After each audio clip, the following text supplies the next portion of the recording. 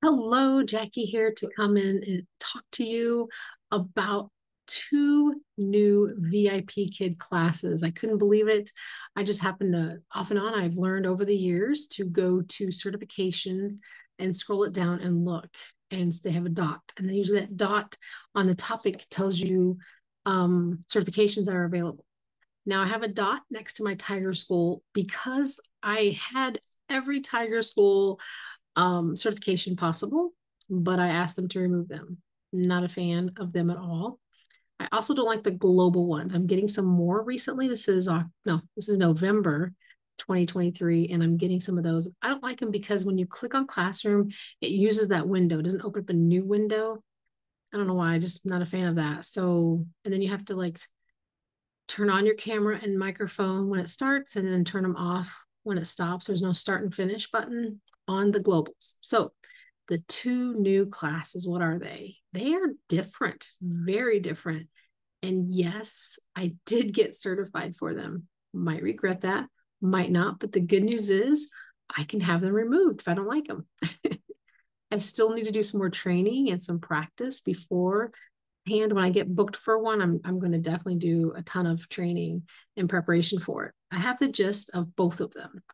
So the first one, it is an ST math course.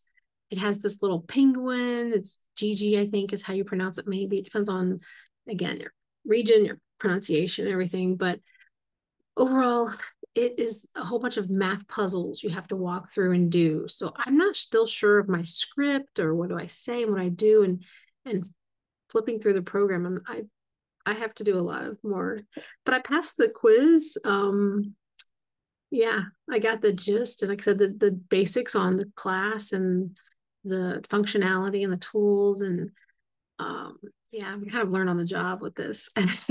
the second one, excuse me, I need some water. Oh, blurry. Focus, there we go. um, the second one is a one to many.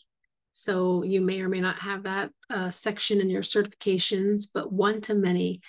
And if I read it correctly and studied it correctly and answered correctly, it doesn't ask you this question in the quiz, but it says that one to a 100 can join. so I went through some of the demos or some of the sample classes. They're basically all adults. It didn't blur out anybody's faces.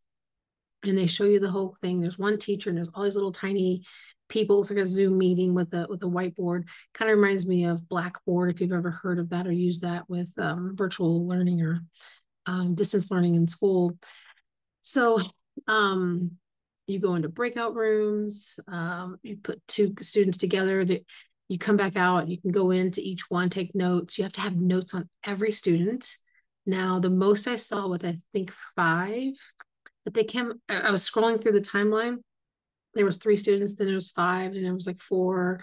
So I don't know if they just jump in and out. I don't know if it's allowed. So again, I need to do a little bit more research, but yeah, I was pretty surprised. So enjoy, check them out. You may or may not have been invited yet because that's how VIP kid, VIP teacher rolls. They they kind of do a rollout, you know, um, of introduction for different programs. There was no new sort of contract for it. It is still the base rate, seven bucks, but it does still go with the tier program. So the more classes you teach, the higher um, you get per class in um, using that tier program. And uh, most people, if you look at the tiers though, I think tier four, five, six, seven are pretty much the same pay. It's kind of weird, whatever. Anyway, so let me know.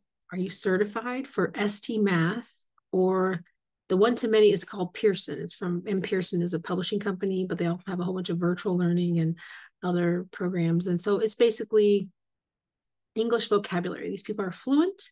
And you'll say today our topic, the one I looked at was travel. So they talked about cabs and planes and trains and cars and um, travel, like vacation, holiday, travel vocabulary. So it's helped help them increase their vocabulary. So that's it. That's all I got. So I thought it was interesting. If you didn't know, if you don't have it yet, it's coming maybe to everyone. And uh, I have it. So when I do a class, I'll be back to share exactly what that is. I hope this was helpful and informative. And again, keep commenting below about questions that you may have to help me with my uh, content. Thank you.